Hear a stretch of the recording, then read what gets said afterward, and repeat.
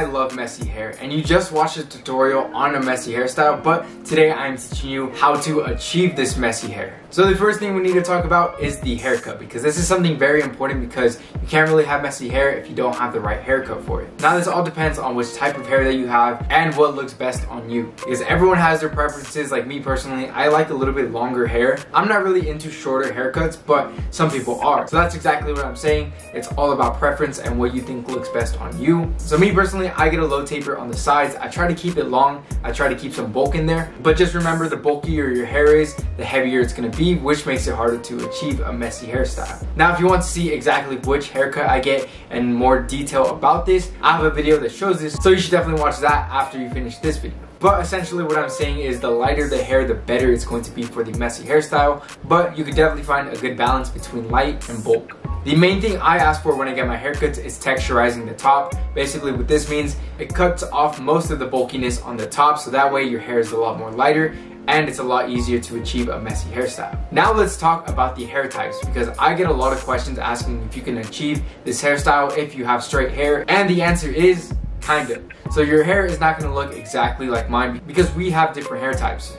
If you have straight hair, it's not gonna look exactly the same as my wavy hair. I naturally have wavy hair. Some days I'll wake up and do nothing to my hair and it's probably gonna look very similar to what it is right now. The only way you could actually achieve something like this is if you get something like a loose perm. So if you're open to that idea, you could look into that. But if you don't want to do anything with your hair, that's totally fine. You can follow these steps and it's going to look relatively close to mine, but not exactly what I have going on. If anything, it's going to look something more like this, which is still perfect because it's the whole messy hairstyle. Now let's talk about the hair products because the right hair products is definitely going to help with the messy hair. So since I have naturally wavy hair and plus I get my haircuts texturized, I really don't have to worry about too many hair products that is going to help with texturizing. But if you do need help with that, there are plenty of hair products out there that are specifically made for extra texture in your hair. And it's also funny because me personally, I have a new favorite hairstyle every single time. I wanna say every single month, I switch out the hair products that I like just because I think I found something even better. So the one that I'm currently using right now is actually gonna be the Slick Gorilla Hair Texturizing Powder. This has definitely been my favorite one. It's so easy to put in your hair and it makes your hair look incredible. So if you wanted to pick it up, the link is going to be in the description. But if you're not into hair powder, I really like hair clays as well. So I'm gonna be linking the one that I use as well.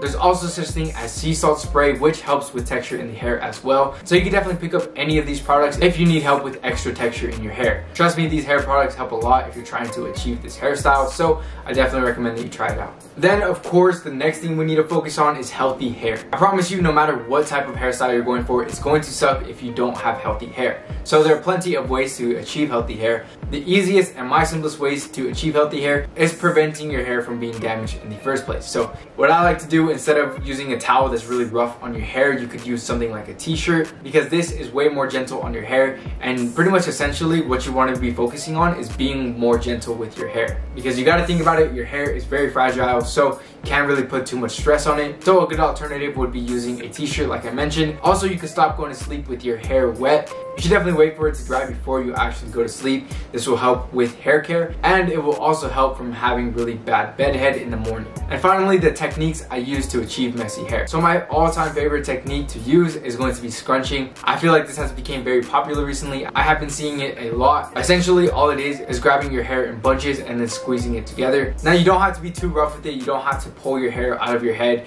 Instead, you're basically just going to be squeezing the hair without tugging or pulling. It's actually something very simple to do. It honestly works best when your hair is completely wet. So I do it in the shower and I do it while my hair is still drying. This also really helps as well because when your hair is wet, it's also a lot easier to train. So the more you do this, the more your hair is going to be used to having more of like a wavy pattern. Like I said, this is pretty much the easiest hairstyle you could possibly have. It's really easy to achieve and it's also really easy to maintain. So if it did help, make sure to leave a like. I'd really appreciate it. And if you are new around here in this channel, I simplify men's fashion and lifestyle. So if you want to learn more about that, make sure to subscribe right here. And if you're really eager to learn more right now, it's all good because I have a few videos right here that will definitely help you out. Anyways, other than that, I hope you have a great rest of your day and I'll see you in the next video. Later.